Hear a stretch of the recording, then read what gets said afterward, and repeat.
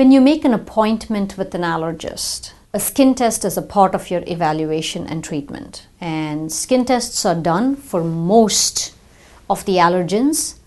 Some of them don't have a standardized skin test. When you make an appointment, the staff will talk to you to allow at least 30 minutes to 45 minutes to come prepared for a skin test. They will go over all the medications that you're taking because you should not be taking antihistamines for at least seven days prior to a skin test. When you come in the office, after you talk to the physician, you will be asked to get into a gown, lay on your stomach. And those of you who cannot lay on the stomach, we can try to put the skin test on your thighs, sometimes on your arms, or even sometimes on your back, and give you a chair to put your head down. The skin is then prepared with alcohol so that any lotion or any creams that you may have should not interfere with the skin test. So all I'm going to do right now is wipe off the skin with alcohol. And that's it. Skin tests are performed with a special instrument. They look literally like a hairbrush. And what we do is we put eight at a time to make it comfortable for the patient and it does not hurt. I'm going to start with the first skin test. So I have done eight of these. My staff and I always mark the skin just to make sure we know where the skin tests have been placed.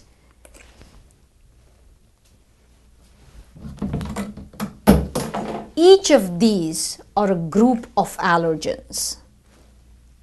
There is a pediatric kit and there is an adult kit. What you're seeing is a very limited amount of allergens that we do in children. So the first set is dust mites, cat and dog. The second set on this panel is grasses and ragweed. The third set is tree pollens and the last set is mold. You let the skin test stay on your skin for 15 minutes. If you're allergic, it itches, it does not hurt. And what you see is a little red mark like a mosquito bite. So we're going to wait for 15 minutes and we'll come back and show you positives and negatives. So in 15 minutes, the skin test is ready to read. And I want you to appreciate this entire panel that's the tree pollen, which is negative on the patient's back. But we have snuck in some controls. This is histamine, another histamine, and another histamine. Histamines are controls placed to make sure that the patient has not taken an antihistamine. And when it's positive, it means this is a very good test. On this patient's back, we have dust mites, which are positive. And I want you to appreciate that it's red when compared to a negative test. So this patient is not allergic to dog and cat dander, not allergic to grass ragweed, not allergic to any tree pollens or mold.